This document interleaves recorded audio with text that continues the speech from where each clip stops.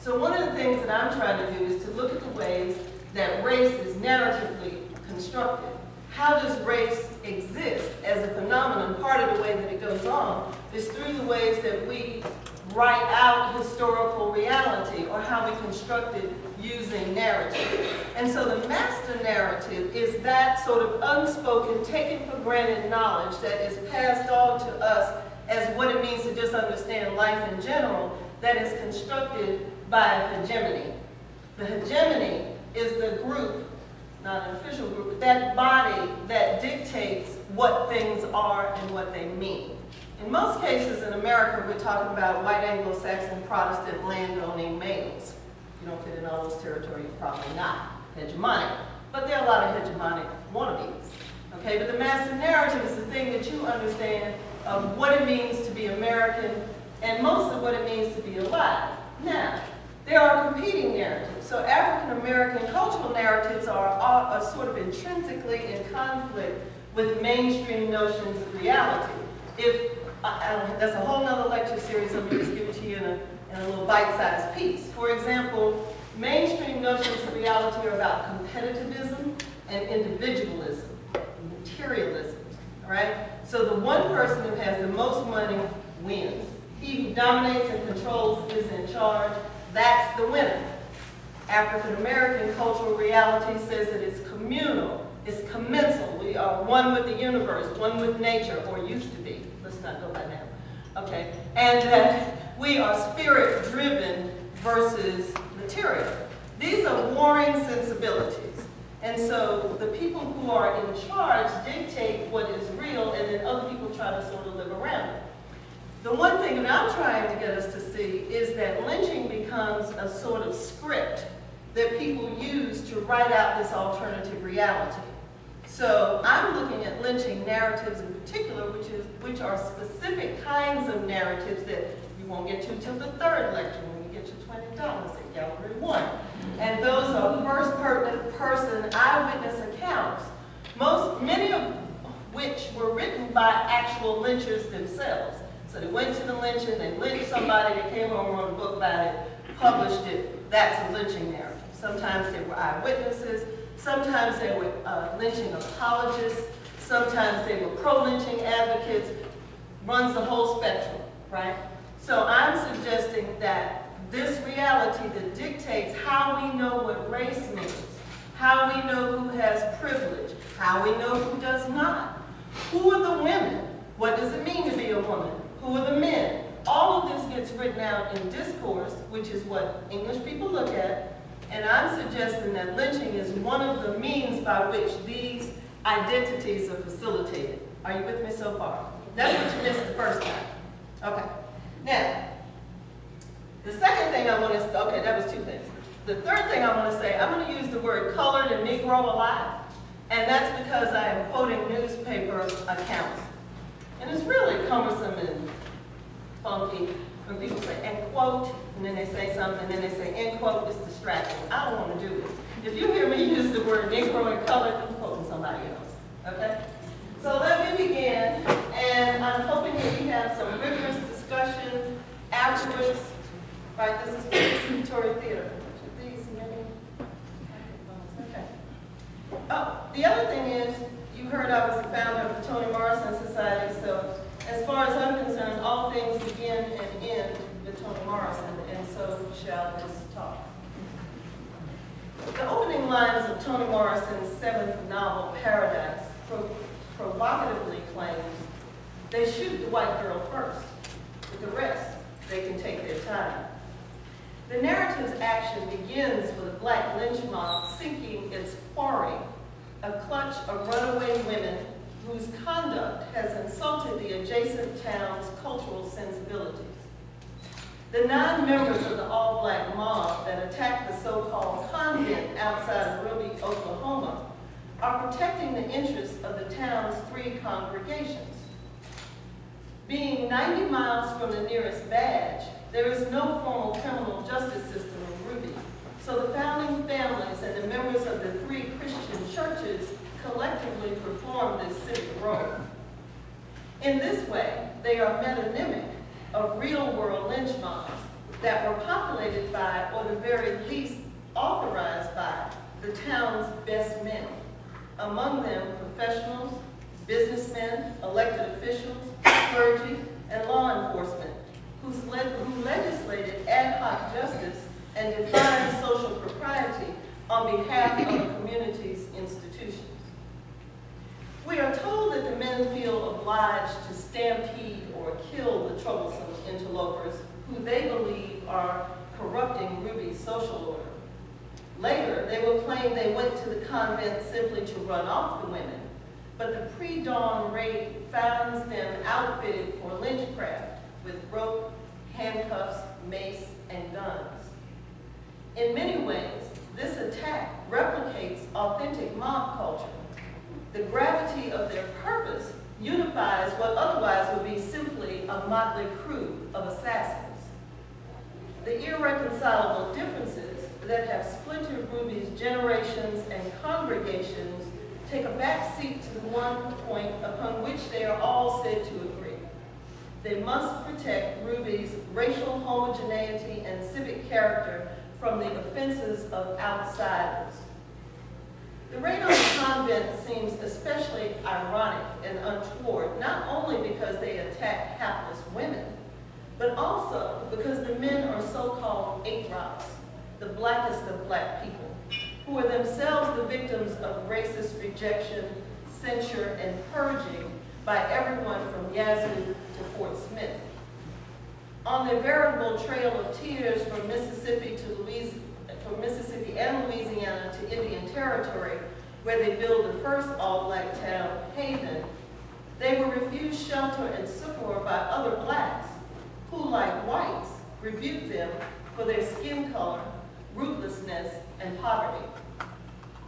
Given their history, one would expect them to be more compassionate toward the itinerant women who had found shelter at a mostly abandoned way station 19 miles from Ruby. But community defense trumps cultural empathy when it comes to protecting civic interests. During the Jim Crow era, isolated community, communities like Ruby often relied upon lynch law to protect the dignity and purity of its women and children. However, they were sometimes its victims as well. Generally, lynching was used to establish or correct social behavior by enforcing racial and gender protocols. Thus, as the women at the convent discover, white women who are unchaste and or cross the color line in their dalliances could expect their lovers to meet the business end of a rope or revolver. Black women who stepped outside of their place at the bottom of the social paradigm, and those who were simply at the wrong place at the wrong time, or who allied themselves with the wrong man, could expect to pay for those transgressions with their lives. At first, Morrison's depiction of black-on-black -black vigilantism seems expressly fictional, since Jim Crow racial politics normalized the practice of whites lynching black men as a social control. But upon close interrogation, it becomes clear that she is not that she is simply uncovering or recovering authenticating African American realities that have been obscured by racialized discourse. In Paradise, the lesser known ventures of black cultural construction and civil defense form the foundation of the narrative's action. Communal rounding of undesirables was a common method of policing one-horse towns like Ruby in the Jim Crow era. But lynching did more than maintain the status quo. It also worked to authenticate mainstream configurations of social identity and power. That is, lynch law defined racial and gender politics by establishing who had power, who did not, and on whose behalf power might be wielded. White men who relied on carnage to protect their women in communities stipulated by doing so that American social identity was white, that American social culture was male-dominated and anti-black, and that legal violence was the preferred means by which the disenfranchised might be controlled and dominated. Notwithstanding this, historical records indicate that African Americans also took the law into their own hands to protect their communities from those who breached cultural mores or committed crimes, like allegedly the convent women. Why then is this sort of black social control virtually unknown? The answer is simple. Black agency cannot logically exist within the context of white supremacy and Jim Crow repression. Thus, those discourses of race with which we are most familiar might lead us to assume that pre-integration whites would have considered the very idea of a black lynch mob preposterous, since master narratives suggest that African Americans were denied sufficient social and political power to determine for themselves who should live, who should die, why, how, or when. And yet, 19th and early 20th century newspapers, black and white, offer ample evidence that phalanxes of militant, armed, lynch-minded blacks were determined to define and defend the parameters of acceptable civil behavior for blacks and whites within their communities. This fact might help to explain why racial reprisals targeted at blacks were so harsh and seemingly so unrelenting. There were angry men with guns on both sides of the color line who were not afraid to use it. My analysis of this phenomenon employs cultural critique to situate the occurrence of black lynch mobs within a dynamic network of mainstream racial practices, public discourses, and evolving cultural values. This form of analysis examines the cultural limit, the point where warring sensibilities clash, to better understand how competing discourses and power vie for dominance. My aim is to show the fluidity of power that uses vigilantism and lynching as its marker. Black vigilantes, especially those who exacted retribution from white criminals for crimes against their communities, prove that the boundaries of civil power were hotly contested among and between the races, and that taken for granted diet of white power, black powerlessness under white supremacy was anything but static or certain. The existence of black vigilantes indicate, in fact, that assertions of white supremacy required constant maintenance and reiteration for self-authorized blacks, especially those who sought to preserve African-centered cultural values and black civic authority within their segregated or not environments.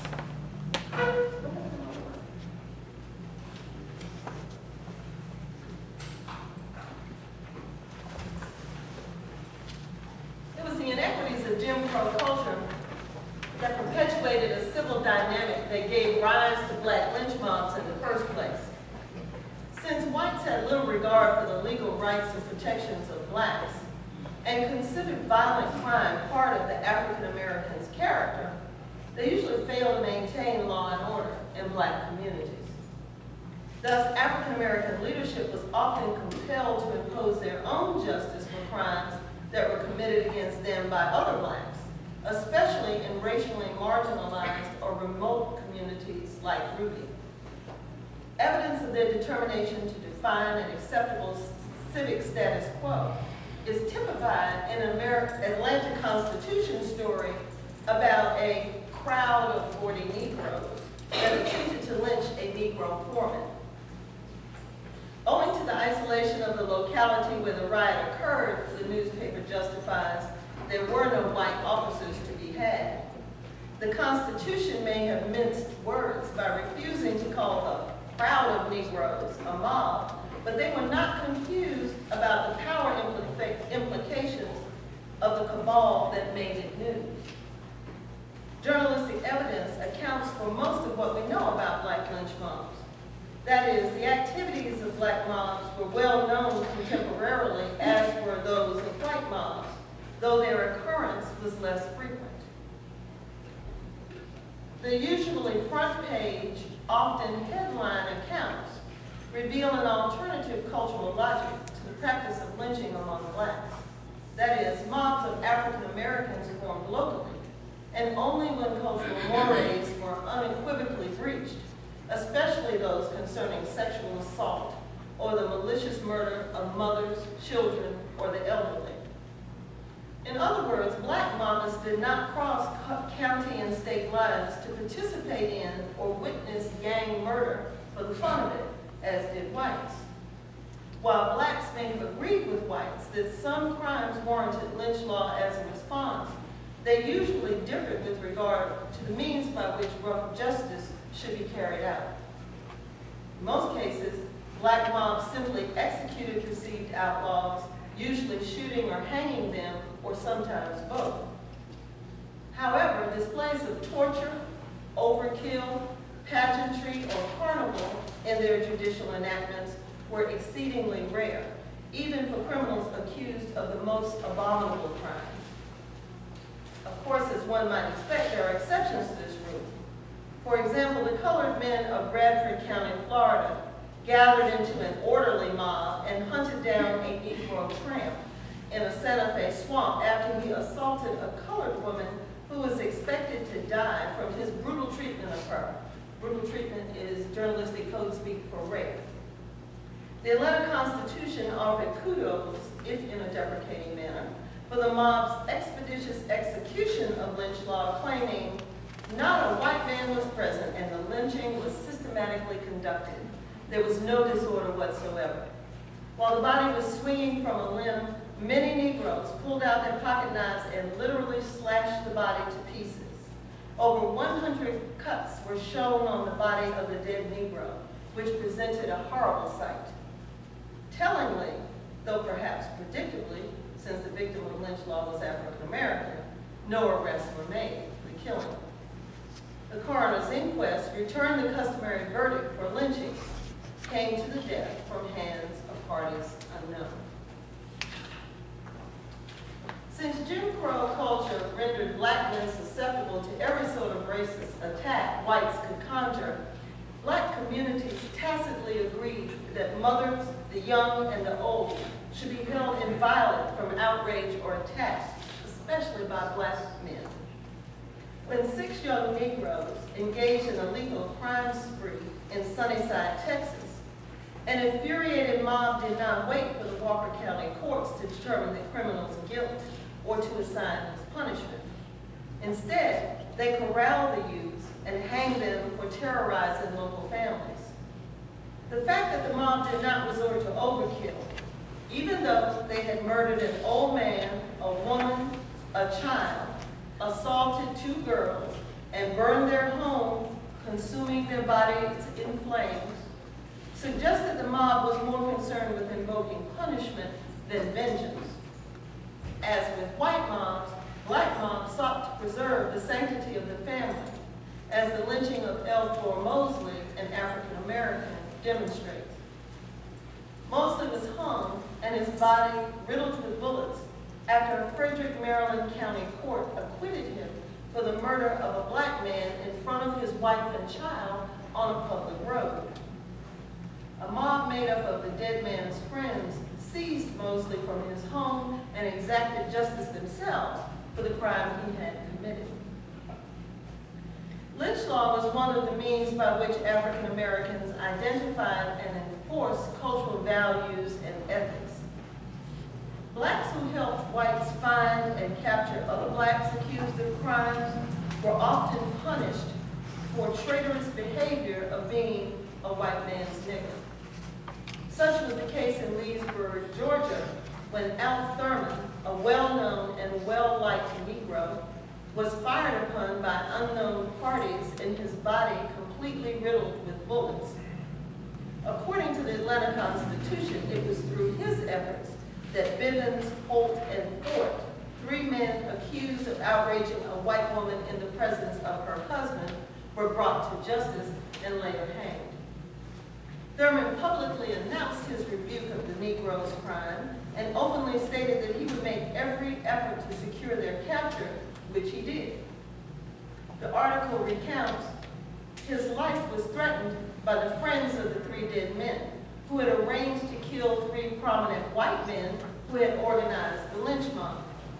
When Thurman heard about the plot, he took it upon himself to expose the scheme and to prevent their murders. He had almost succeeded in trapping the nine conspirators when they turned the tables and shot him to death in the road. Whether or not the three slain blacks were legitimate fodder for the lynching mill is less significant here than the obvious fact that this band of outlaw Negroes, as the article branded them, did not kowtow to local whites or fear retributions of racial violence and terror. More significantly, they offered an object lesson to other African Americans who would serve the white man's ends at the expense of black people. As was true for the outlaw Negroes, some African Americans defied Jim Crow justice, refusing to run, hide, or lay low from attacking whites. Negroes in Richardsonville, South Carolina, for example, were not alone in their determination to even the score with white lynchers and white cappers. They plotted to murder a white man or burn the home of a white man for every Negro that was lynched or whipped. This shows that certain African American communities disallowed lynching of fellow blacks by enraged whites on any account. So when whites in Key West, Florida attempted and failed to lynch Sylvanus Johnson, a Negro, who was accused of assaulting Mrs. Maggie Atwell, they, they, infuriate, they infuriated local blacks who openly threatened to burn the city and kill all the white inhabitants. According to the Atlanta Constitution, the Negroes surrounded the county jail and the armory and began to discharge firearms In the ensuing fray, a white man was wounded by a stray bullet and another was beaten senseless. No retributive violence was recorded. This incident marks a black community's explicit refusal to accept fear, violence, and racial murder as their inevitable lot in one of the most lynching-prone states in the Union, Florida. Vacation Generally, however, African Americans did not endorse lynching's law, lawlessness, murder, and mayhem. On the other hand, they were unwilling to allow criminals, black or white, to run amok. Blacks understood that the legal system was not, deserved to was not designed to serve their needs, and more often than not would be used against them.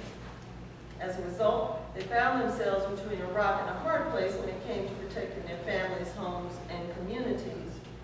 Notwithstanding this, most blacks still preferred to rely upon the bar of justice for civil and civilized punishment, rather than rely upon vengeful, murderous mobs for retribution. In certain quarters, especially in the Deep South, whites seemed to turn almost automatically to the rope and faggot whenever interracial crimes were alleged. Given these odds, the likelihood that an African American could stay out of harm's way depended more on luck than reasonable behavior, responsible behavior. Eventually, even African America's best men, wearied of the capricious assaults on the unprotected blacks and their communities, and turned away from racial accommodation in favor of the sword of retribution. As a result, black public discourses became increasingly militant over time regarding how best to deal with whites' legal, lethal attacks. A nascent ideology of racial self-defense is typified in the following editorial from the Richmond Planet, an African-American weekly. The writer rationalized black America's vulnerability to racial violence, contending the law fails to protect us, and in the face of murder, rapine, and arson as perpetrated against us, the officers of the law become as inanimate as though they had been turned to stone. There is but one way to remedy the evil. American citizens of African descent must make an individual defense. When lynchers come, the editorial invades, the shotgun, the rifle, the old saber, the sharpened axe, in fact, anything handy, must be brought into play, and every man should consider it his duty to see to it that at least one lyncher is left cold and stiff upon the ground before he yields up his life in accordance with the mob. End quote.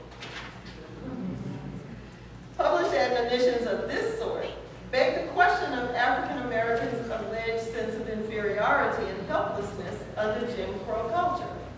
And as a result, many legal assaults on black communities devolved into full-scale riots, as in the case of Elaine, Arkansas, Rosewood, Florida, Tulsa, Oklahoma, and Columbia, Tennessee, to name only a few. Mainstream papers record the fact that African Americans not only repulsed white mobs bent on imposing illegal, brutal punishment, but also sought out and lynched criminal whites, often with impunity, but never without mainstream reaction. A Charleston News and Courier headline maintains, lynch law reversed, when a white rapist was lynched by angry blacks in the heart of Dixie. While they predict that the hanging of a white man yesterday by Negroes in Pickens County, South Carolina, for the alleged commission of a crime for which Negroes are usually lynched, will doubtless be the subject of comment throughout the United States. They do not indicate their abhorrence for or censure of the deed itself. The article's tone borders on empathy, allowing, albeit hegemonically, the Negroes seem to have acted very much as white men have done when the circumstances have been reversed, and from their point of view are doubtless justified by the example set them. Yet the white newspaper's interpretation of events situates African American vigilantism, that is, proof of black civic power and subjectivity, within the distorting framework of white supremacy by suggesting that its social and historical meaning rests ultimately in the judgment of officious whites. The articles caveat that the conduct of white people who first dispersed the, the conduct of white people who first dispersed the Negroes and then allowed them to reassemble, here's that emphasis, and offered no resistance to the hanging is explicable in only two ways, cowardice or approving of the lynching. The names given, including well-known citizens of Pickens, preclude the first alternative. Thus, we are forced to conclude that these men thought Waldrop ought to be hanged and were willing to have blacks adjudicate justice for themselves in this case. In the end, the philosophical question which lies behind this isolated instance of lynching reversed is whether the serious matter to which it relates, meaning rape, a good rule must necessarily work both ways. The articles claim that this problem has suggested itself to thinking men before, indicates that this is not the first or only interracial incident of African American mob action with which white Americans were forced to contend. Whatever they're thinking on this matter, the Charleston News and Courier offered no further journalistic reaction after the fact. African American newspapers frequently politicized the inequities of mainstream law that led to the lynching of blacks on both sides of the color line. Under the headline, four groups, three white men and one Negro perpetrate the nameless crime. The nameless crime the Atlanta Independent called for a just, even-handed legal system to punish whites who committed crimes against African Americans so a lynch mob would not have to intercede.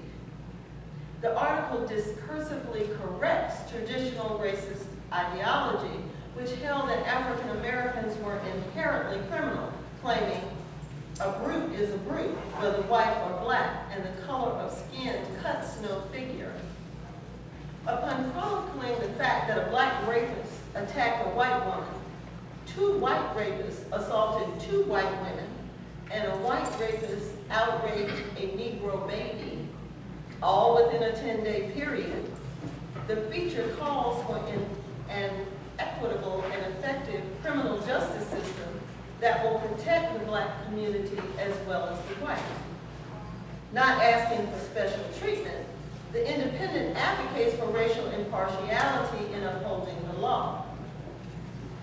We have no sympathy for any class of criminals and have nothing but words of comment, commendation for the officers of the law who ran the Negro fiend to cover and convicted him upon his own voluntary confession.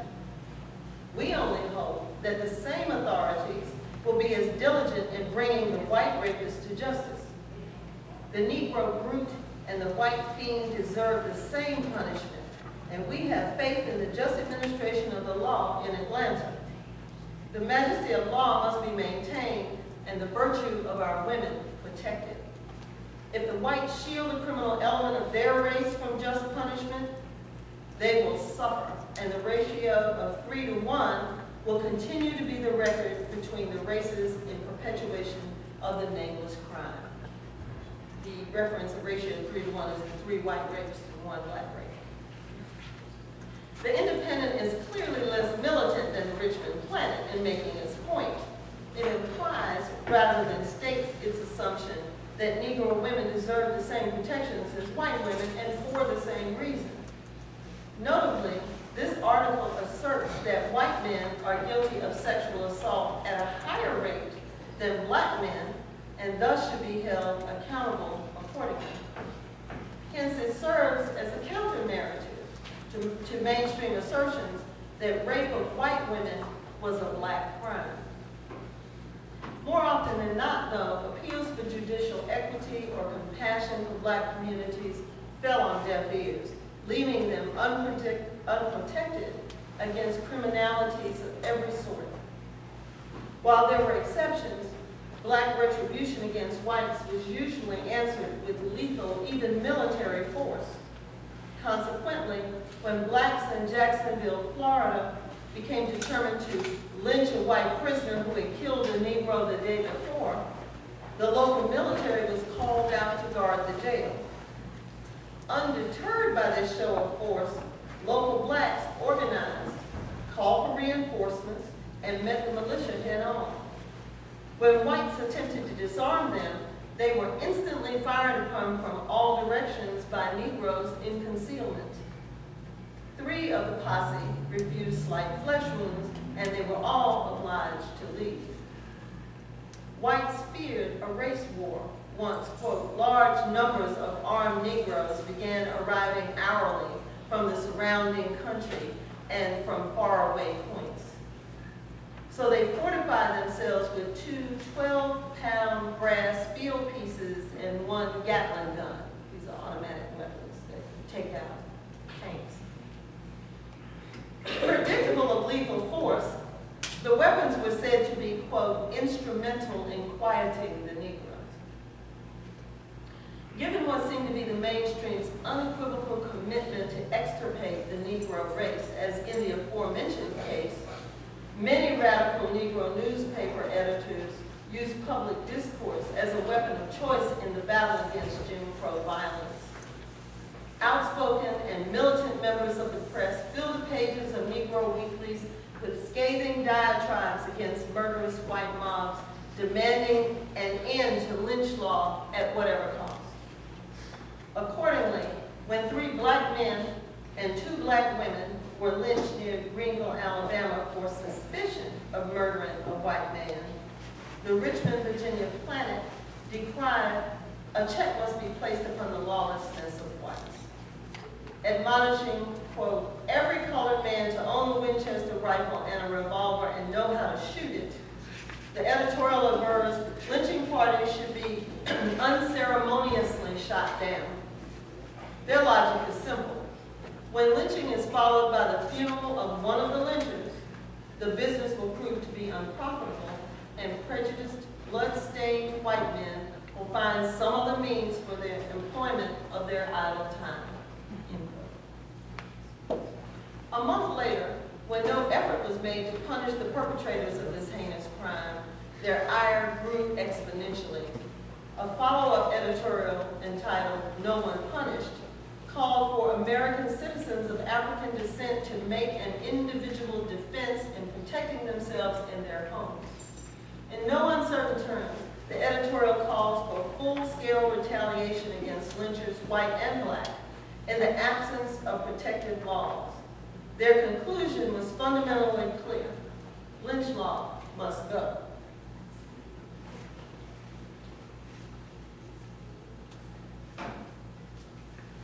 So how is it that our knowledge of resistant, insurgent, and judicious civic protectors has disappeared from the historic and certainly oral memories of blacks and whites? There are all sorts of reasons why Americans succumb to a form of hysterical blindness or amnesia regarding this subject. White America's determination to define whiteness as God-given hegemony over rigorously repressed people of color is well documented. Thus, acknowledgement of black lynchers would have contradicted Anglo-American assertions of white supremacy and social dominion. It would also have contradicted the discursive assertions of black America's talented tenth, who argued assiduously that Jim Crow must go based on the African American's humanity, civility, and social compatibility with the cultural mainstream. Later, during the first half of the 20th century, power relations and cultural posturing would also have been compromised.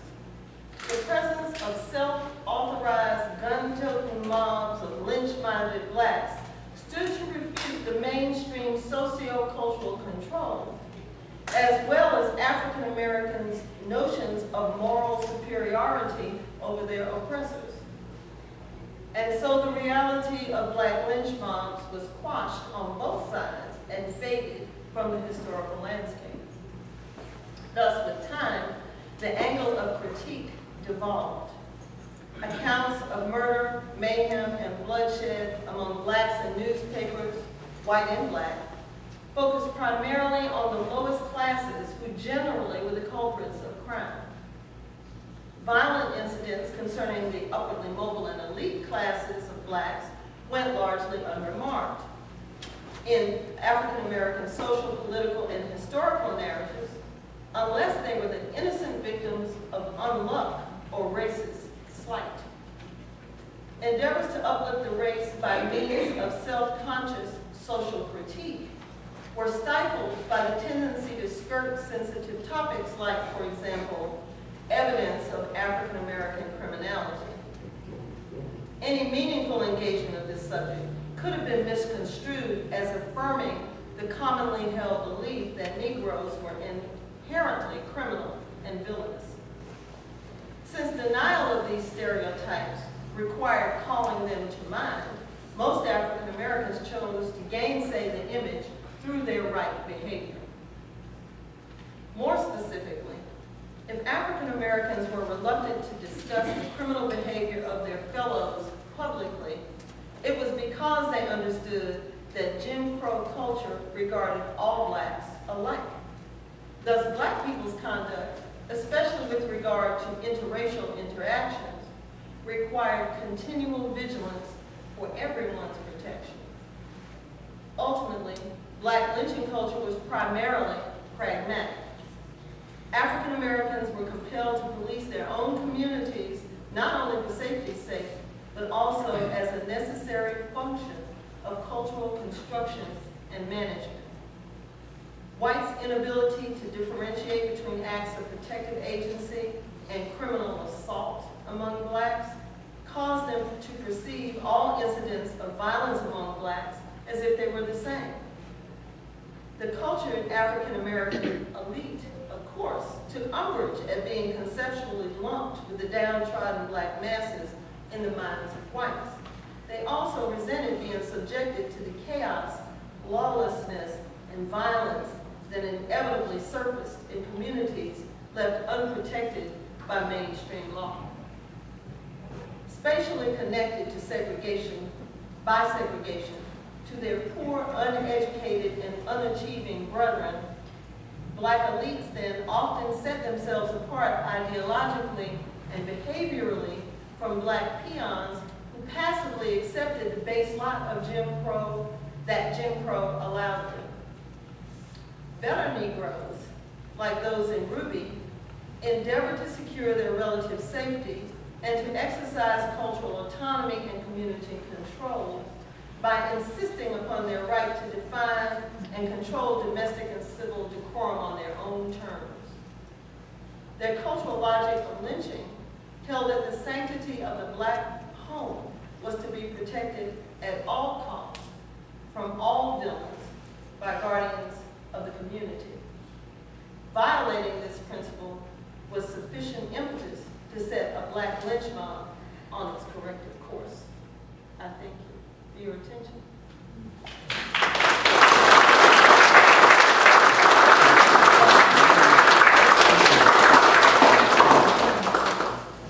So, the series was designed to do two things at once. I like to multitask, or I'm forced to multitask, which is it? One was to bring you up to speed on lynch law. It's way more than you think it is. The other thing is to talk about pedagogy. Uh, last time we talked, what did we talk about last time? Uh, epistemology, how you think about things. And this time, I promise to talk about how difficult it is to find something there's no such thing as. Okay? Now, while I told you that there were certainly news stories, plenty of news stories about lynch mobs, certainly within a certain swath of time, were you to, I don't know about now, but certainly when I was, at first started this research 10 years ago, were you to do a um, keyword search, nothing comes up. And nothing comes up because most people don't believe there's any such thing as that. And if there is such a thing of that as that, it's an aberration, right? It's just that one time that happened. And it was amazing to me. I sort of fell into this research because I was looking for something else. You're always looking for something else, right? When you find that extra twenty dollars in your coat pocket. And I'm reading these these newspapers. I'm reading just miles of microfilm, which is how I went blind. Watch your eyes. And I kept coming across these headlines over and over again about these black lynch mobs. And I mean, I about worried my girlfriend, thinking, believe this, you're not going to believe this, because there's no such thing as this. Okay, but then when I try to work back from the, from the, from the document itself, it isn't actually, cataloged. it wasn't actually cataloged that way, right? So it might be murder, it might be under murder, but it isn't under sort of civic protection and lynch law. In other words, when, when whites lynch, they're protecting their communities. When blacks lynch, they're committing murder. Right? So it becomes very difficult for you to do research on this when there is no such thing as this, which is how we got to epistemology. Now the thing about epistemology is that this is legislated, at least in part, by these master narratives, and certainly secondarily by education. You learn to think about the world when you go to school, right? When you learn how to do research when you go to school. What you don't know, or, or you may know, but you aren't thinking about it until I just make you think about it this way, is that schools are political instruments. You may be at an HBCU, but this HBCU reports to IHL. Do I need to say more? You, you feel me? All right. And then everybody reports to the Library of Congress. Right? So knowledge is constructed in a particular way. So let me unpack one more thing and then we'll get to the discussion part. This is why oral histories is so very important. And, no, and as somebody said last week, nobody wants to talk about this stuff, right? According to the sort of politics of knowledge, oral history is not dependable. You need a scholarly treatise, right? Well, what do scholars do research on? Whatever's hot. Whatever's hot. If you want scholarly support, and who doesn't? Isn't that right? You want an NEH grant, you want some kind of grant, you gotta go with what's hot. So if you're doing research now, you better be talking about queer studies, because that's what's hot. You're trying to talk about black lynch mobs in the, in the 1900s, you're not getting a dime. I need a dime. Just find a twenty dollars in my coat pocket, need a dime. Gotta pay y'all for coming three times. Who doesn't need a dime, right? So people everywhere, all the time, follow the money. That's not to say people don't do research about things they care about. I'm talking about how things get to be books and articles, and then the people who are on the advisory boards for the journals have to decide they want to read your stuff. And if you aren't timely and you're not hot, you're not getting published, and there it goes. Of course, as is true with every rule, there's an except, there are exceptions. So don't take that as an across-the-board caveat. I'm talking about generally. And so the problem becomes if information isn't presented in a particular way, in a scholarly journal or book that's, that's been published by a jury press, it's not real. So you get old Aunt Mabel sitting around in her rocking chair in front of the fire after she's had a couple of Jack Daniels telling you about back in the day. That does not count. And she was there. You know, the Jack Daniels just disqualifies everything. I suggest that we have it, you know, in here. That's would have been a whole lot oh, more better. But my point is that information. And only certain kinds of information then become acceptable and become sources of knowing. And when you put on top of that how people feel about things, lynching is, is some tough stuff. Right? And so, you know, I don't know, one of the things that I wanted you to do, and then I forgot I wanted you to do it because I'm old, was I wanted you to think about what was the most provocative, you can still do this, we can still do this, it's not too late. What was the most life-altering racial incident that happened to you or that you witnessed that shaped how you think about things? Do you follow what I'm saying? When I was a little girl, just as an example, this is not my thing, but this is one thing. When I was a little girl, I was I lived in North Carolina and I was going what they call down east, which meant there was no interstate yet. That's how old I am. There wasn't an interstate yet. And so we were going down east on the little two-lane highway, singing the songs in the car, because you know that's what you did in those days. And we looked up. And you know, the road was like this. And as far as you could see in the rearview mirror and ahead of us were cars. And it sort of happened without us knowing it because we were singing songs and being a family. And then I said in my family, it's probably me, I'm taking credit for. That, oh look, what, what are all these cars? And we start looking at the cars, and the cars are full of Klansmen going to a Klan rally.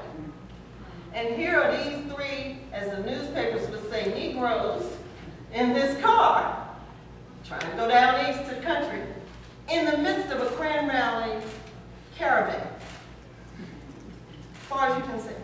And so they see us just about the same time we see them, and they're giving us the finger and giving all kinds of symbols that they'll, you know, that kind of stuff. So we had to spend the night where we were going because you couldn't come back down that road, right? I mean, not unless you wanted to be at the foot of one of those crosses. That, that was a life-altering thing for me.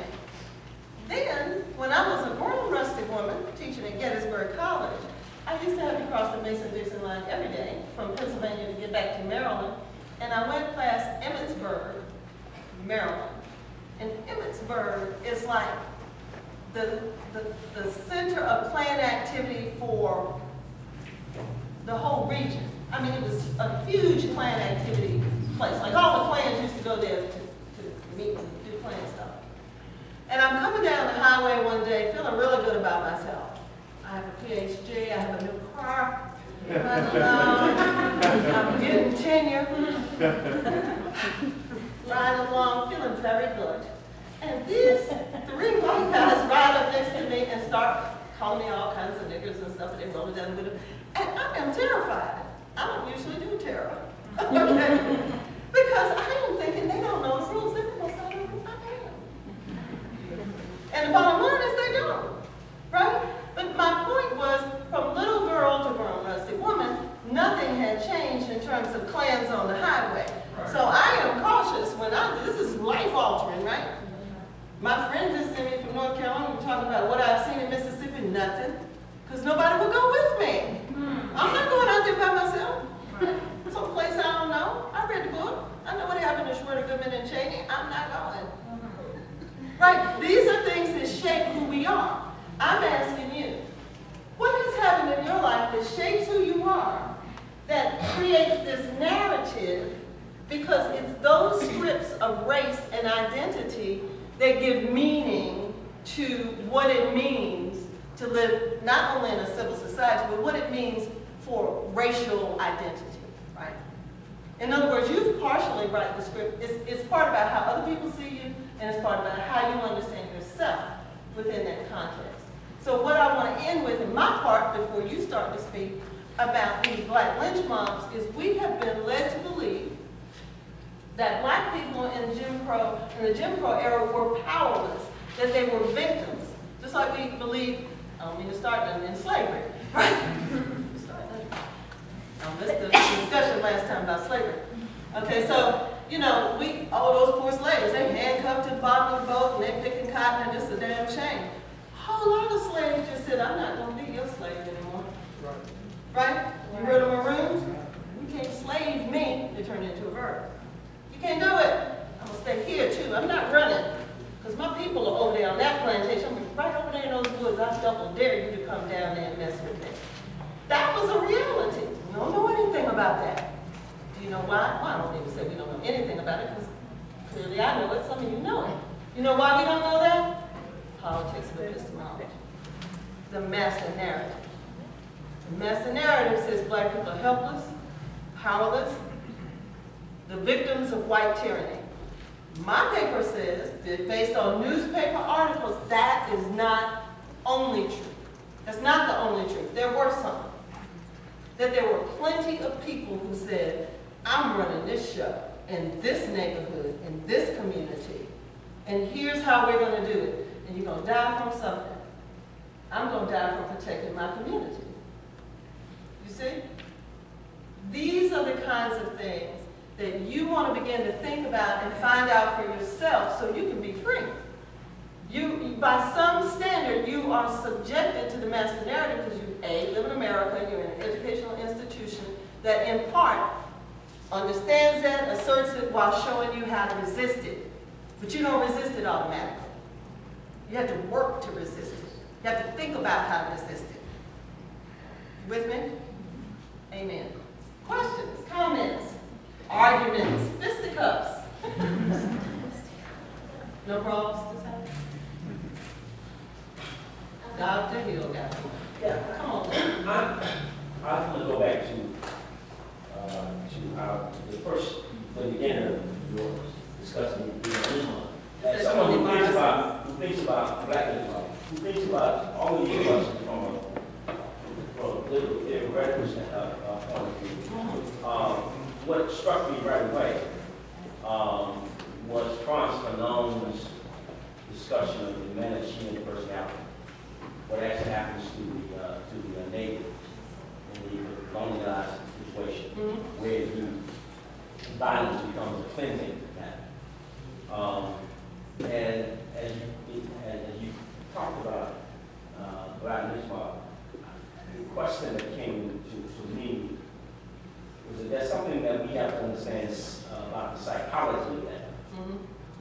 And I Which want- is? and- and- Well, I want, this is my question, like, how, how do we understand that, um, psychologically, that is for, for black people in, in, in this era, in this epoch, uh, that black people. This one? Uh, the That one? lynching, right, Mhm. nineteen seventeen, where lynching, lynching, the lynching of black people, and you know that actually other non-black groups was in that course. Mhm. Right.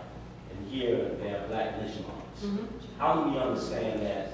I, I, not that had, had, had answered this, but I want to, want to understand that from a psychological standpoint. What is going on there psychologically? I can tell you what Francis Fanon says, Mhm. but, uh, what ought to be applied to that kind of problem in, the- in the broader context of, of, of, uh, of how black life works? Uh, Yeah. Well, I, I, you- you're right, I don't have the whole answer to that, but I certainly have a partial response to that. And, and part of my response is that I would not want to categorize it as a problem, but as a situation. And here's why. Now, let me, let me say, um, that what I read to you today is, is a small excerpt from a larger article. It was so hard to pull stuff out and make it have sense because there- there's lots more parts of it. But one of the things that got taken out in the uh, essence of time was that in this period, a couple of things are true. Life is what we would certainly think of now as violent gentlemen. People have to catch their food, okay? I mean, and so people hunt and they slaughter food. If you eat, you slaughtered it. They don't have the uh, program there, right? Uh, uh, certainly not in the 19th century. Uh, in, in, in these places where these things happen. If you were in New York City, it was grocery store. I'm saying out in the, in the, certainly in the deep south, in these backwaters. And so life is, life is, is violent in many respects. People use weapons and guns all the time. And, and people shoot out their differences. More importantly, almost everybody's drunk. Seriously, you know why? There isn't really potable water. You see, I got three bottles of water up here might have a water emergency. I. If I was back in the 19th century, these would be that Jack Daniels I mentioned. Because you have to drink something to keep yourself going, and you can't drink water. They don't have tea, they ain't no Kool-Aid yet, they don't have no red Kool-Aid. So, what are people to drink? Beer. See? I don't know, because I drink rum, but I hear beer will make you drink drunk too. My point is that people drink a lot.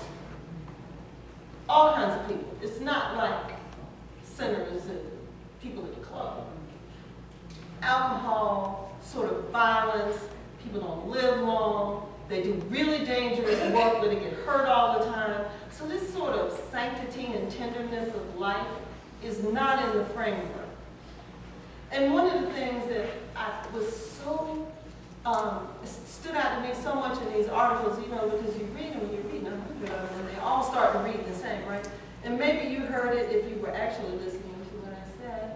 And that was, people used to get shot and raped in the road. How many people got raped in front of that man in the road? It wasn't easy. It- What was going on in the road? That's what I'm saying about life, that life didn't work the way it works now. You didn't have that criminal justice system. That, that's what this is about. And so, when you ta, when you factor that in, that question moves over somewhere on the shelf. Now, that is not to say, I, I think when that comes into play, I'm sorry, I gotta go back and add one more thing. Domestic offense. You know, people know they have to protect their homes. And not necessarily, I don't mean lynch mobs, I'm saying you can't have somebody come up on porch. You gotta protect your home. And so everybody's in a kind of defensive, defensive mode. Where I think your question comes into play is with these spectacle lynchings, where people come and the entertainment is to watch somebody be murdered, to watch somebody be burned alive for hmm. hours while you eat a sandwich, you know, picnic, that's where the word picnic comes from, if you missed that little factor. Do you see? That's where the psychology of it comes in. One might almost add, and if we got some psych majors out here, here's your, here's your master's thesis we're talking about. What would it mean psychologically for you not to protect your family under these circumstances? Where, where somebody can come and rape a baby. I can't tell you how many lynching accounts were about raping babies. Now, I don't know what they mean by babies. You know, maybe they mean somebody who was eight years old. I'm thinking it means somebody who was a baby, can walk own, maybe hold their head up on by themselves. But baby rape was a big thing. It was a frequent thing. What's the psychology of that? This is what happens when uh, there are no strip clubs. I say that because Jackson has a lot of strip clubs. Well, what, I'm, now, something I'm, I'm kind of getting where is it all coming from, and this, this, this, um, this violent nature that's in the culture at this time, I mean, and, and it's, and we can see from, you know, from what you've been telling us, that it's, that this, um, it, it, it's sort of, it- how it emerged in the black, and black, cult- and black communities, it came from white people, right? Because I don't, it's What, the violence? The violence, or that it was something, was it something that was taught or something that they, you know, that from. I, it's hard for me to really palate the idea or that, you know, that black people just automatically decided that the way that they deal with somebody is to lynch them. That they, of course, saw that prior to, you know, they saw white people doing it. And, but. Well, mm, can I interrupt you because I'm to get the point I want to make.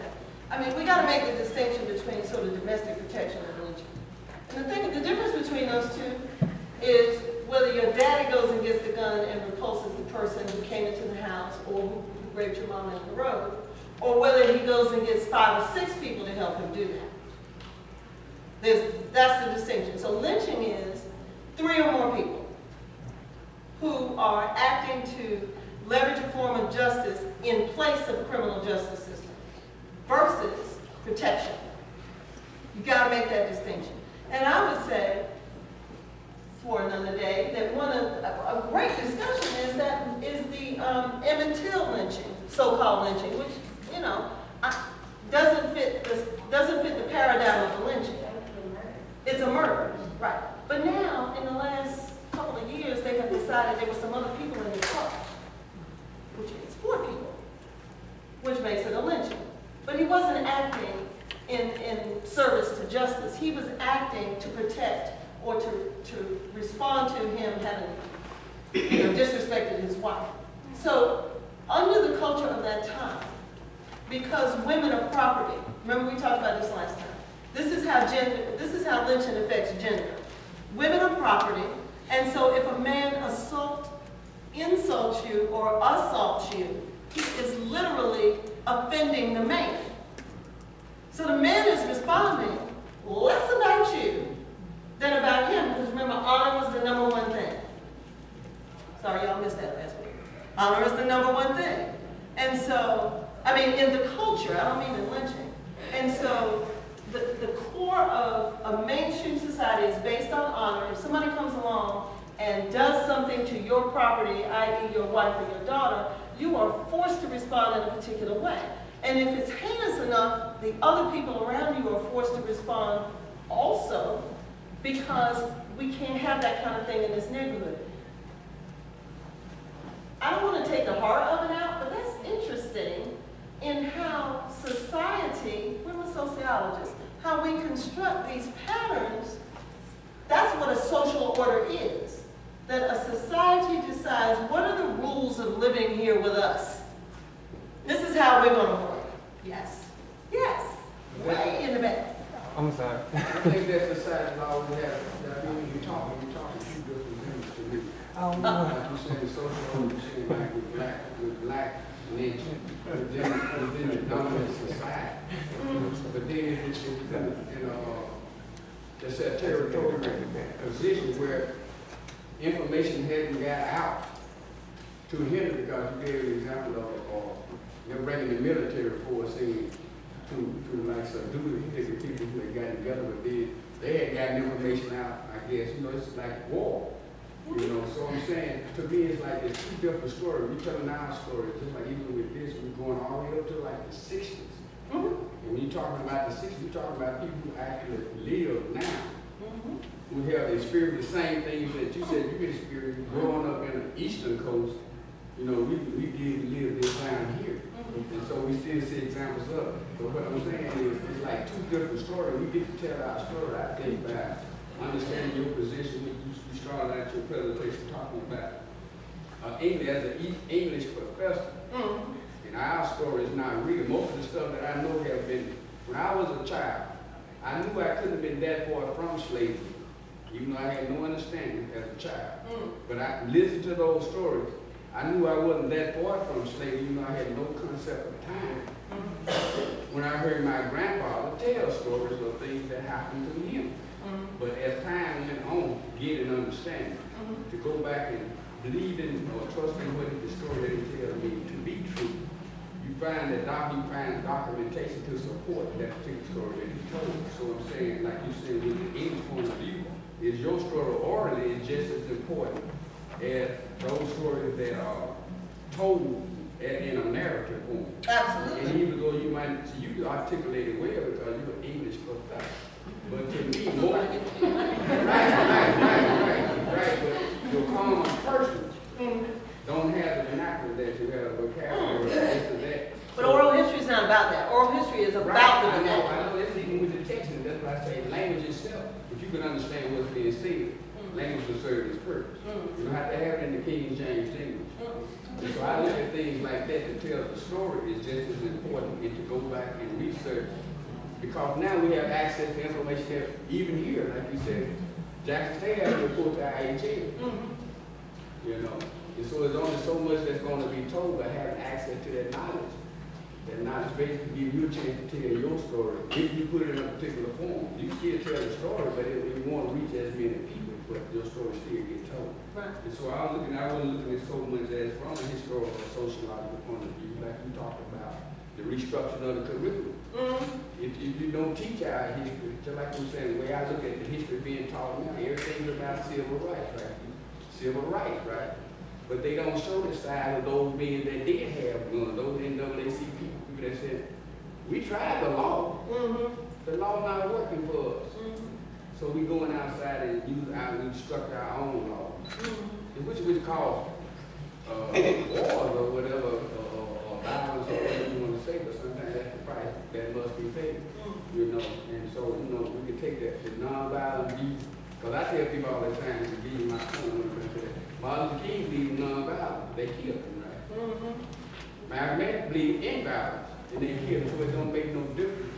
What you, you know, so you see the different, the two different choices you have. And sometimes when you're going to be a person, not be so terrorized about what's put in your face to make you fear because you don't understand uh, how images and things are used to control you, social control, because all of them social control is put up control, and I still see those same tactics being used today. So it's a living example. This is my story. Mhm. Because I'm at Jackson State, and I've been here, and I came to Jackson State like twenty some years ago, and a lot of things that was here that was intact as far as history was here. This building's just opening, right?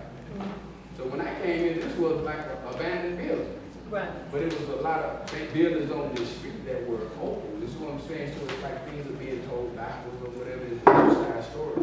Today, I think that we are allowed, if you put in the effort of the work, and have you courageous enough to tell your own story, regardless of anybody believe you. And That's why what we gotta said, do. We use that thing about we have become individualized or competitive. Mhm. That's their way, where we said we're more communal. Mhm. So I was just told, that's our African tradition, all our stuff, that they said we don't have no literature, right? Mhm. But they find that we do have literature. Because that's with the Timbuktu collection and things, with all those books that they won't let, you know, come out and let people research it, or them just not having access to it. We have music in here. But they want to, they will give you the ideas, and we were illiterate people, but we were not. That's exactly right. Sir? Okay, uh, you had mentioned earlier about the uh, psychological problem. Uh, to me, uh, it's almost like if you, okay, I don't want to offend anybody, but if you, if you have a weight, pro- a weight problem, you have a food problem. So if you have a psychological problem, then what are you putting in your mind? So how far are you going back? And I tell people all the time, uh, in, in, the, in the piggyback off of him, you know, a lot of times we stop at civil rights, but you felt you felt different once you found out that you know you felt the different. You didn't feel fear anymore once you found out that there were lynch mobs, there were people who res- who respected and respected women and, and that would die for their communities and stuff like that. So to like I said, I go back and if you don't define yourself, then somebody else will define you de- define you for them for yourself. So for what I would like to say about that is it's, it's simple. If you don't go back far enough, or if you don't if you don't go look it up yourself, if you don't go research the history yourself, you're gonna always think that you were a slave and that you just came into. So you have to go back farther. So you it's almost like as, as African Americans, you have to you have to study yourself. You can't st- when I say study yourself, I'm not talking about as far as history, but you have to go outside the edu- educational realm mm. and get into some. You can go, you have to go back to African history. You go back to African history, then you go into oral history. Like some my grandfather can tell me about, you know, the things that happened when he was going through the civil rights and how people didn't just lay down and people didn't just take this. And after you do that, you start to transform your mind. I agree. No question, we have a club. Thank you, President. Ma'am? One of the things that I just wanted to hit on was, uh, when you said your personal history, like what you went through. uh, Well, I'm from Oklahoma, and one of the things that I've seen is one, black history or African American history isn't really seen. Um, I actually In Oklahoma? In Oklahoma. Um, yeah, that being the whole Black Wall Street and everything, it's, it's not. Um, I actually graduated from Booker T. Washington High School, which is an Ivy League high school, the only historically black high school still standing in Tulsa, Oklahoma. And yet, we only have one course. Are you from even- Tulsa? I am from Tulsa. Okay. Um, but we don't have one course that even teaches or hits on African American history, only hits on slavery. I really didn't hear a lot about it until I came here for school. I didn't see a lot about it. I didn't see a lot of, um, the activists or a lot of strong black people outside of family, of course, until I got here. And now, um, just recently this year alone, uh, in one of our districts in Jenks, I believe, they want to take out, uh, the history of slavery. They don't want to teach it. Um, Who doesn't wanna so, teach it? uh, in schools, in some of our schools now, they don't want to teach just that history. Public school Um, this school? They said it makes America look bad, and they shouldn't teach it. Huh. That, they should be. Okay. It does make America look bad.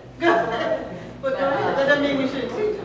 Right, and, um, that's the thing, and I feel like a lot of people say that, uh, and just like as both of these men hit on, um, obviously the history goes outside of school, but it's, it's, it's actually big, when you, when you teach history in school, that should be a big part of it. So again, um, I think it, it's very important for it to be taught in school. And as I said, the only reason why I was even, you know, fortunate enough to learn most about it that I know is because I came from historically black high school and came here. So, um, like, I just think it's very important, and even a lot of the places here, you know, for me to hear how, you know, just the historical aspect of Jackson, Mississippi, of Mississippi by itself. Um, it's actually sad to see now, there's still a lot of African American and black people who don't care. So that was just a big change, um, for me, coming from Oklahoma, which is a predominantly white state, to come here and then just like, oh my God, some of the black people. So, Oklahoma is, is a predominantly white state, but Oklahoma, Kansas, and Nebraska were home to the 26 all-black town. I mean, black history, I would argue, post-slavery starts there. I mean, in the sense that in those places, people started over.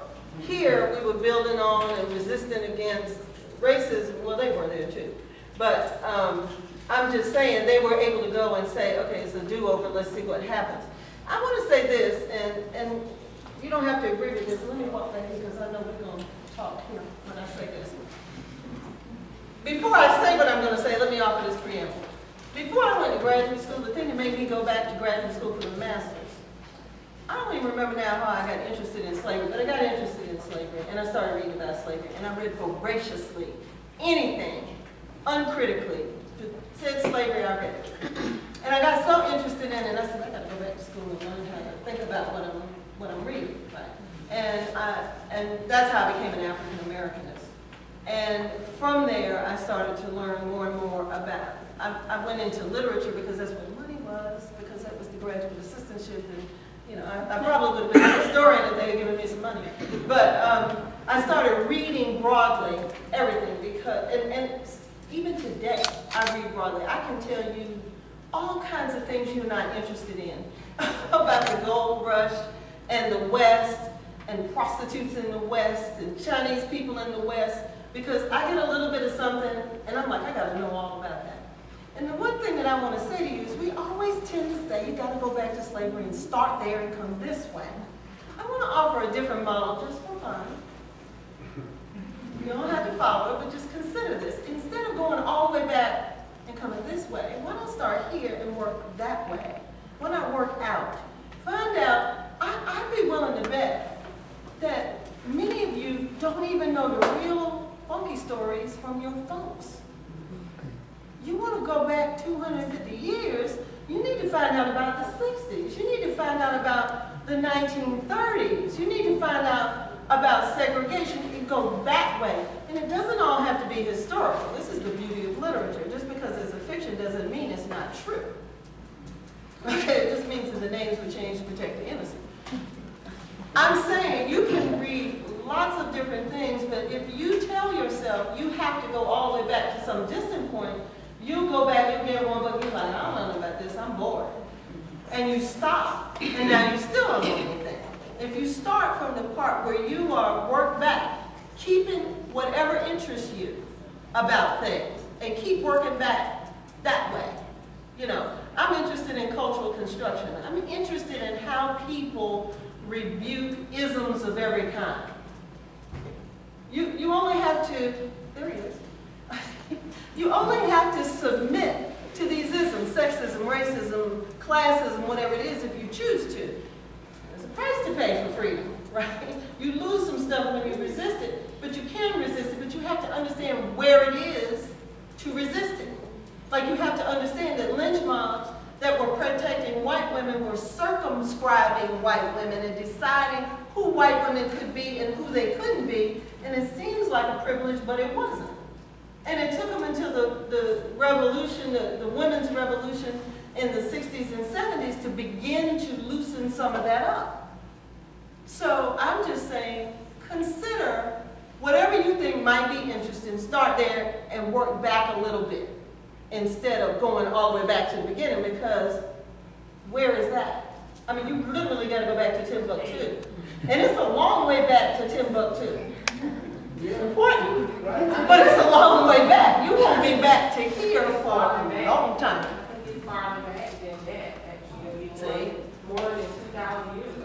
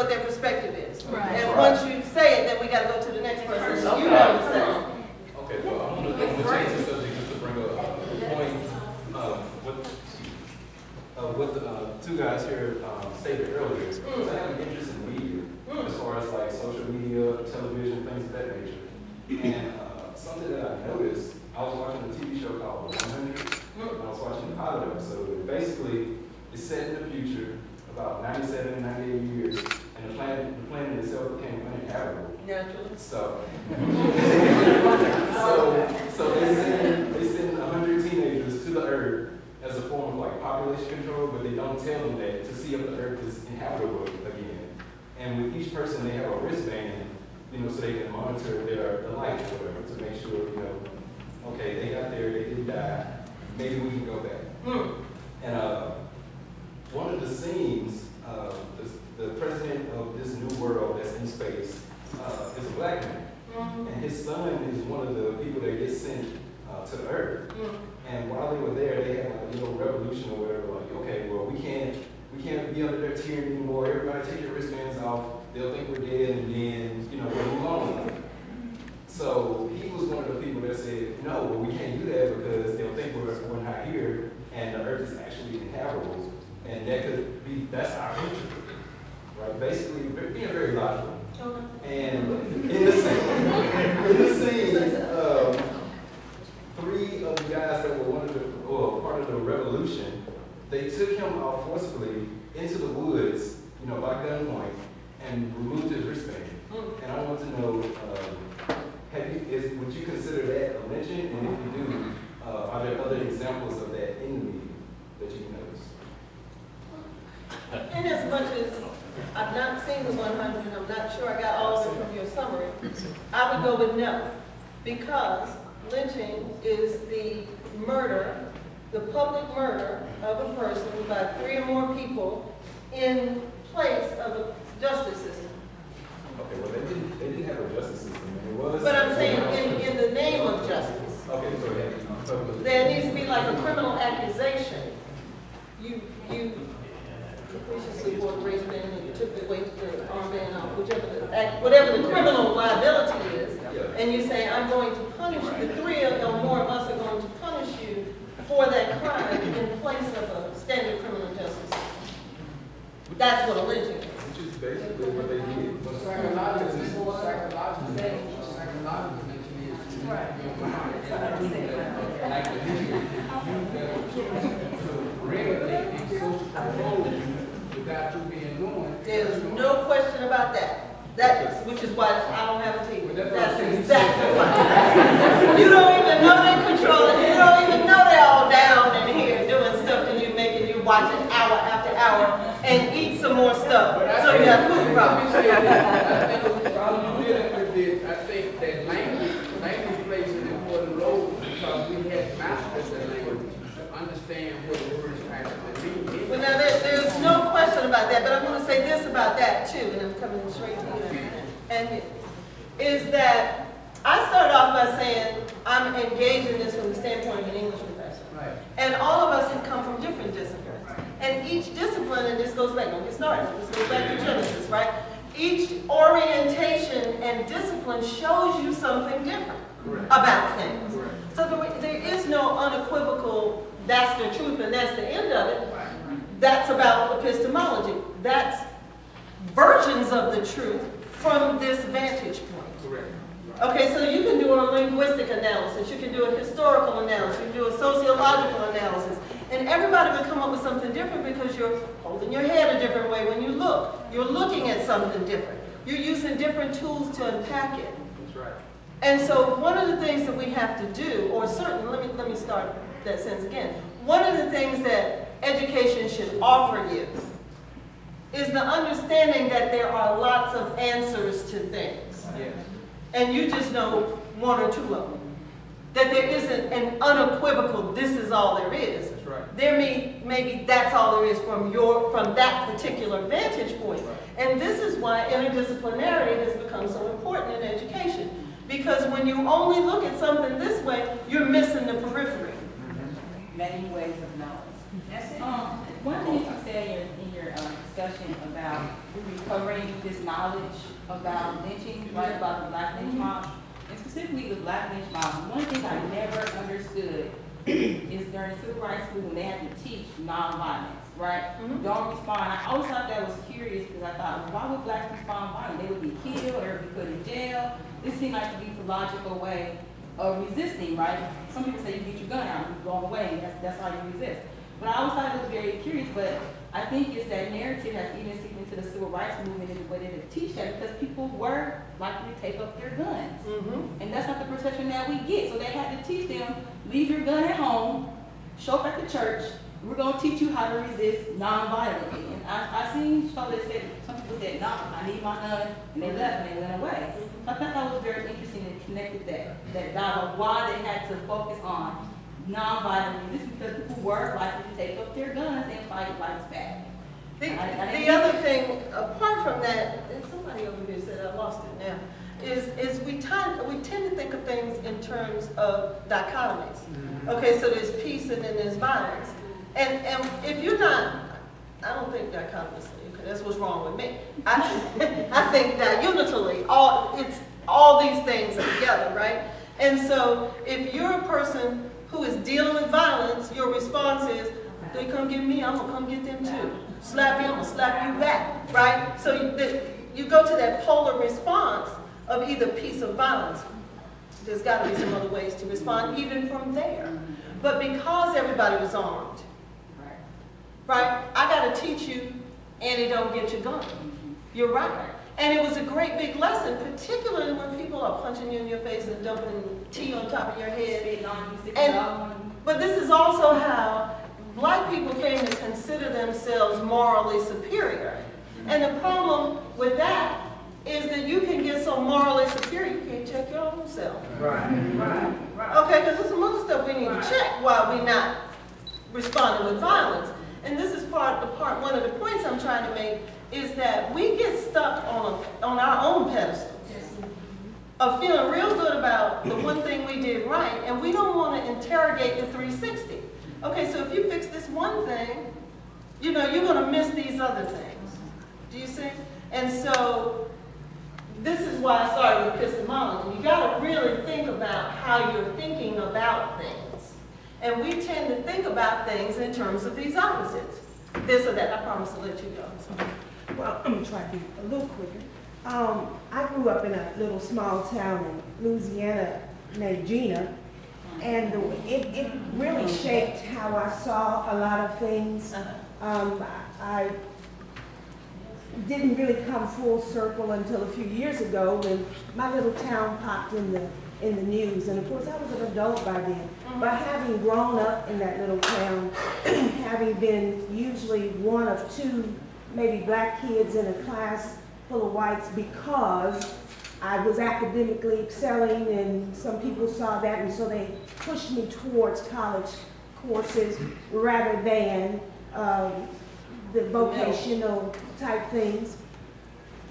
I, I, I got the, the best of it, but I also got a little bit of the worst of it. I, I got, um, can you get out from in front of the class? Your hair's too big. I wore the afro. I'm dating myself, by the way. I'm probably twice as old as most of these people in this room. Um, and you know, there was there was this this this tree on the campus of the school where I went to, and and myself and my sisters and um, a couple of my friends would uh, ceremoniously go down there on certain lunch hours and sit on the bench where we were forbidden. And it was kind of our statement: we're not going to go home, or we're not going to not come here because you say we can't be here. But where I got that from was I had a mom at home who was very, this 11th grade uh, high school dropout with all these kids who had become just very politically involved in her community. She pushed us towards education. Um, and I took a lot of heat uh, from her kind of being out and visual. She didn't have a real good reputation apparently growing up, but all of a sudden she's this very political person, president of the PTA, and that sort of thing. But really to top it off, I had this six foot three dad who could pass for any white man in town and who had a really bad reputation of shooting people if they bothered his folks. And it wasn't just him, it was his brothers and, and, you know, my uncles. And so I had to grow up under that reputation of them being bad actors. And, um, and they could get away with it because, strangely enough, their grandfather was their, their father's white slave owner. But he was very present in their life. That was strange. That was very different for that town. And so he provided them with some protection when they would do things. They gambled with white men. You didn't gamble with white men, but they could because they could pass if they could not really recognize who they were. So a lot of that shaped, my, my dad was very self-hating. He hated his skin color. He hated his hair. He hated everything about himself. I was probably 12 before I realized that he wasn't a white man, that he was a black man. And it didn't really matter to me, that was my dad.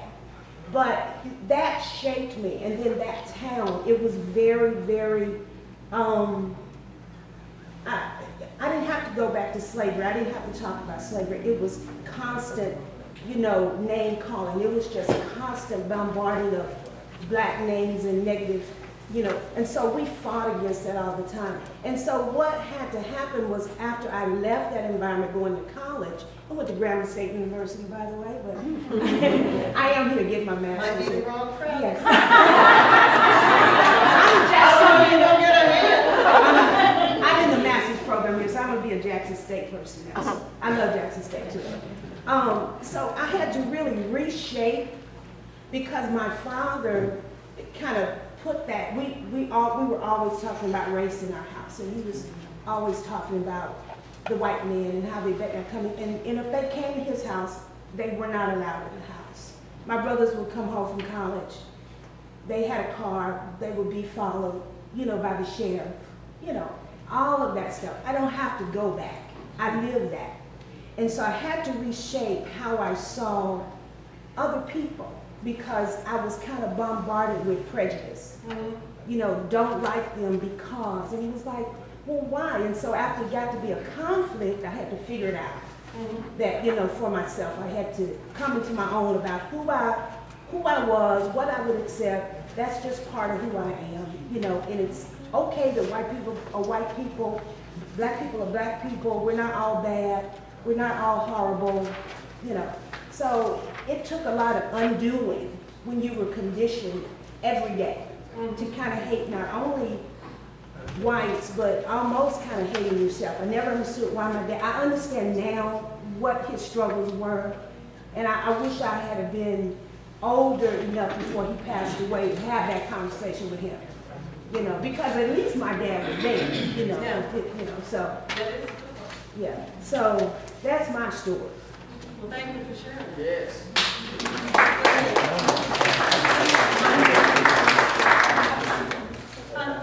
I'll, I'll something else. Uh, I wanted to go back to Kim's point about, she asked about whether or not blacks learn violence from white folk. And I just wanted to point out as a scholar of West Africa, uh, violence is not unique to Europeans. And I read accounts in, in, for example, in the economy, it seems to be empires, they have the most, we you in the prolific forms forms of violence. So, uh, a lower, a lower chief who somehow insult- insulted the king, one form of violence would be that you cut that chief's body into four parts and you divide the four parts to each corner of his town as a way of showing any other elite who wanted to insult the king, this might happen to you. So I, guess I would say that maybe the, sort of the types of violence is not unique to white folks. Maybe what's unique to Europeans is that the, the sort of consistent scale of violence. That maybe that was something new because it went around the world exporting violence. But but I read many accounts, vicious accounts of violence in, in just the Ghanaian archives. Now, what I want to ask you though is I want to share a thought about what we get. I'm gonna respond to that before you go.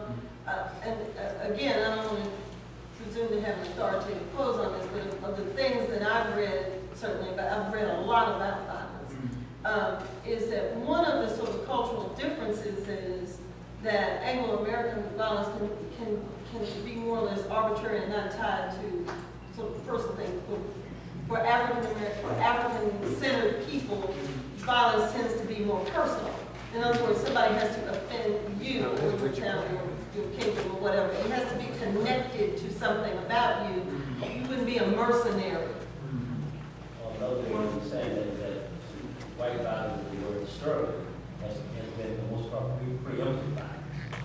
Yeah, or just because, What about, for example, if a king, if a king dies, And as a king, you have to have people in the other world, because there's no sense of the heaven, but you go to the ancestral realm. Mhm. You have to have helpers. Right. And so you kill maybe 40 people to go with you into the other, into the other realm. Right. Yeah. Would you say that's a, is that something that would not qualify? I, I would probably try to take the safety of the high ground and say that each cultural situation is dictated by its own paradigm. Okay, so if you are the king and you need helpers in the next realm, and, and everybody knows that, that's what it is to be king in that realm. They gotta go with you, that's what they gotta go do. So that's not violence so much. But the individual follows violence. Maybe. individuals, well, I, I read the council of individuals trying to get away. Oh. They know when the king died, he out of town. What I want to ask you though is that, that's right, deal. But what, what I want to share with you is that I, I witnessed, lynching is a, is a common occurrence, as you guys may watch the news, it's a common occurrence in third world countries.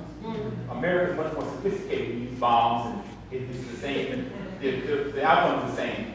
But in other parts of the world, Hmm? Drones. Yeah, that's right. And there was just an account of an Afghan woman who, who they thought she was burning the Bible, or she was, or, or Quran, and she was actually burning a charm, and they, they lynched her. But when I was in Ghana, I witnessed, I witnessed, uh, one near lynching, because they're very common. And you can read accounts in, in Ghanaian newspapers of lynching that occurred in, in, in Ghana and other parts of the world. They actually show the result. They don't, in the US, they, they don't show dead bodies typically. But in other parts of the world, they'll show you the dead, you can see the outcomes. Um, but, but so what happens is that in Ghana, typically someone's accused of stealing something, like very simple, and then people yell, thief, thief, thief, and then you chase that person down, and you lynch them. It's a very common thing. And, and so what happens Without benefit of the trial. without benefit of a trial. Because, but the issue is that they don't have, there's no police, well, there's police, but you, you don't have like nine one one, hey, police officer, something happened. That's not gonna happen, so you, you take care of yourself. That's what I'm talking about. Yeah, my wife, my wife is from Nigeria, they don't have, there's no morticians, there's no police, all that is done by civil society. But what I want to share with you is that, in that experience, I, I, once you stay in this space for so long, you start to make sense to. I, I said to another African American sister in Ghana, you know, I kind of understand how this lynching works, they call it lynching justice. Um, how this works, and she got offended, she said, she said that, well, by saying that what the man seems to make sense, you're justifying what happened to us because she made an immediate connection to lynching in the United States. For her, they were, to, to make sense of one, somehow justify what happened to us. What's useful while you're talking, sort of, I don't know if it's demystifying or complicating the African American understanding of, of our experience, our response to experience of violence, which is very useful. You're welcome. Thank you for saying that. Okay, I'll take you to one of those conversations. Um, anybody else have a last thing, uh, uh, one last, I appreciate you sitting with us, oh, that's because it's three hours.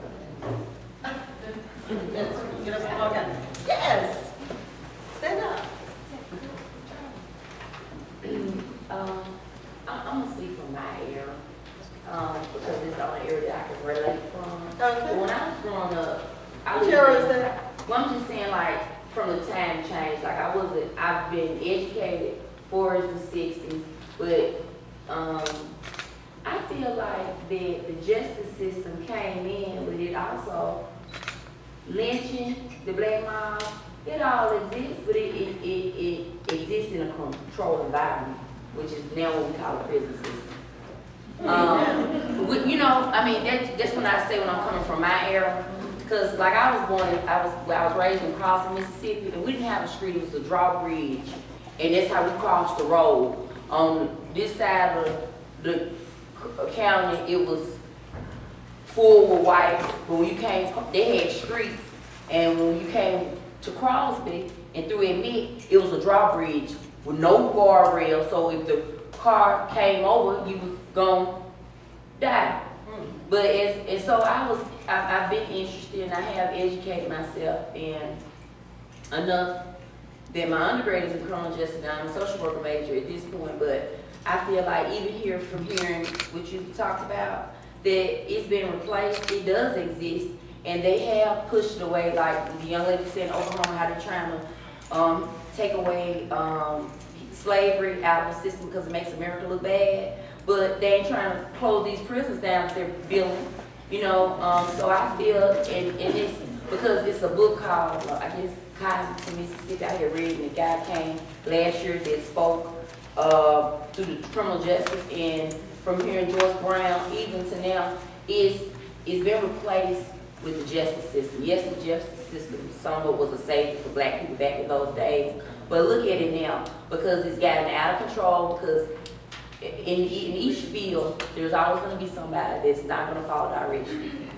But within the prison system, because I've worked in it, is, I feel like it exists. And we, when I say we, I'm speaking African American, because that's mostly, or mostly everybody that's there in the prison system are black. Our supervisors are white, and if you make it up there, it's because you scheming and you chumming, chumming along with them. In other words, they act like house niggas. Excuse me, and I don't mean no harm the way I'm talking. I'm just want to get it over because I know y'all ready to go, but I'm just trying to express this to tell my, you know, to express my point of view. Go ahead. Um, and I feel like, um, in, in the prison, and it's worked the same way down the prison system, because like this zero tolerance, now is ten years old and you, the prison system, you know if, if you ten and you go to jail, you'll never be nothing. You know what I'm saying? I gonna say you'll never be nothing, but it's gonna be on your record depending on what it is. So you already from the door, uh, blocked, and you're limited. Same as it was in slavery. You're limited, you know, at the hand of, so to speak, the white man, but now, we're not limited just by the white man. We're just like we're depressing ourselves overall because we are educated. The system has changed. We do have a voice, but we're not using our voice. Some things I ask my son about because he goes to a private school. And the only reason why he goes to a private school because they didn't have no full-time people, nobody but subs. And that's not right for him to have a sub if somebody ain't gonna be there, but that's another story. But anyway, in his school, they don't, they didn't teach him when Black History came. I was a little bit more ethnic because my grandmother was also first skin, so I can also relate with you uh, when about how they treat you. And um, we had a better upbringing than the rest because my grandma was fair skinned, and I think some of the people might have been by the house man, you know, whatever. But I grew up being prejudiced against white people. And I was back here sharing with my, my, my colleague and my classmate that what stopped me from being so ignorant, and I, and I went to, uh, my, my family made sure I was educated around a lot of white people of culture. You know, they want, always wanted the best for me, but, um, it took me to be on Raymond Road, and I had a. Three black men passed me by, and I don't mean no harm. If I wasn't trying to screw, get my phone number out, neither one of them changed my flat tire. Mm-hmm. I called my dad, a white, at the time I thought I was gonna be a nurse some years ago. So I got on a white uniform with a nurse's thing. Anybody know you in all white, you on the side of the road, stop. But none of the black people that rolled their window down, they was trying to holler at me. But because I wasn't trying to screw, give no money, or my phone number, they wouldn't help me. It took a white man to come down the street. He was on his way home. He changed my tie. By that time, my dad came. And he he came like want to know because he thought the man was doing something to me. And I was like, no, dad. And I offered to give him twenty dollars. And you know what he said? He said, um, I'm doing for your daughter because I have a daughter and a wife, and I hope somebody would do the same for me. So that's what took my ignorance away. But I lived through them burning down our house, burning down a bridge, and we stuck in another part of the city for months until they redid the bridge because it's it ain't no but a hole under there, you know, so I come from it too. But as I've gotten older, educating myself, and I'm trying to raise my son, he won't get shot down, he won't be misguided, because he's exceptionally smart. So I have to gain all this knowledge feeding him. But in, this, in I came out of the criminal justice system because it reminded me of slavery. They don't want no change. They're not preparing them with things. They're not giving them the resources, but the government, our taxpayer money will fund the system, the criminal justice system. So it's like they want us to be suppressed. Not when I say us, not all of us. Some of us gonna get out. You know what I'm saying? But it's a problem when majority is, when it start at 10. But we're educated now. We supposed to be a voice, but it's not a change. It's like we going back down into slavery. We ain't picking no cotton, but we all get our kids get locked up. You know what I'm saying? So that's my form is they went from picking cotton to now they in jail cells. And they they making things, they selling them work for cheap, working like dogs white and black, but majority is Hispanics and it's blacks that hold in the Texas system. Now I'm through. But, I mean, so that's why I say it all exists, it's just been swept up under the rug. Well, thank you for that. Let, let me, um, say something about what you said, um, response to, again, interdisciplinary. That, um, you know, one of the reasons there's so many different majors you can choose in, um, if you were a sociologist, you'd be interested in systems. Okay, so one of the things that your epiphany should show you by your tire, flat tire epiphany, is that most things don't, it's not about individual people. Th- th- That's not where the insult comes, it comes through the combination of these systems and these master narratives that we internalize about who people are and what that means. Right? Okay, so there are black people who think all white people are bad, and white people think all black people are bad, but everybody has their one white friend at work. You know what I'm saying? And you like that person, and you know, you give her money and stuff. But, because, because that doesn't have anything to do with the overarching issue of racism. That isms are about systems of power. And so you have to unpack the system to understand, one, who is operating that system. And the same person is operating the, the prison system is the person, or, or, or the, in, I don't know, it's not a person, it- the entities that also operated slavery, who operated, you name it. Okay, so, so it's really important, and to me, this is how education sets you free. Instead of being mad about stuff, try to unpack it, try to understand how does it operate.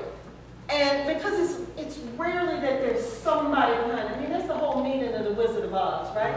There is no great and powerful Oz. It was just a bald-headed man behind a curtain working some dials. Okay, so you've got to figure out who, you know, who's working the dials. How do we stop that? And, and also, once you understand, once you can unpack that, and if you can be dispassionate about it for a minute, because it, it makes people angry. If I'm not angry every second of the day about lynching, I have been angry, but you can't stay angry if you're trying to understand something. That you, you gotta let go of that to try to understand how do I uncouple myself and my systems and my people from whatever these, these negative cycles are. Okay, if we don't like the prison industrial complex, we could stop that, but you can't stop that. Yes. Well, you sure can't stop it being upset. You can't do anything being upset. But you can't stop it for all people who need jobs. Some people need to be in prison.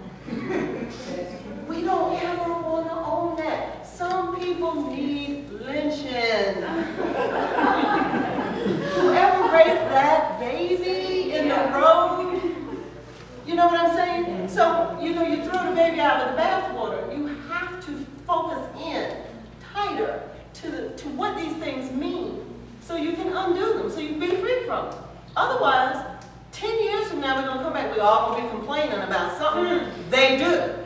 Because they don't never sleep. Okay, while you watching TV in the 100, they doing some good stuff. so you gotta figure it out. You gotta figure it out. Bracelet on other people. Huh? They put a bracelet on other That's exactly right. And they're gonna put a bracelet on you and you're gonna be so happy to have it have an Apple insignia on. And you're gonna stand in line two days, spending five hundred dollars to have them put that bracelet on you. Gonna be on the, on the, on your Facebook page about, I got one. The same thing. So anyway, here's what I wanna leave you with about lynching. I want you to understand that lynching, lynch law is but one part of a wide spectrum of racist activities. But that racism goes both ways. Apart from that is also another system of community protection. I mean, this is what I'm saying is a sophisticated understanding. Now, there is no excuse for burning somebody at the stake in front of 10,000 people that you bring while you eat lunch. There's no excuse for that. I'm not talking about that. I'm saying I want you to begin to think of things in a much more complex, sophisticated manner that you depersonalize so you can understand why people do what they do. So that you'll recognize it again when you see it. Because what's going to happen is you won't recognize it when you do it. That's right, that's right. Amen. God's.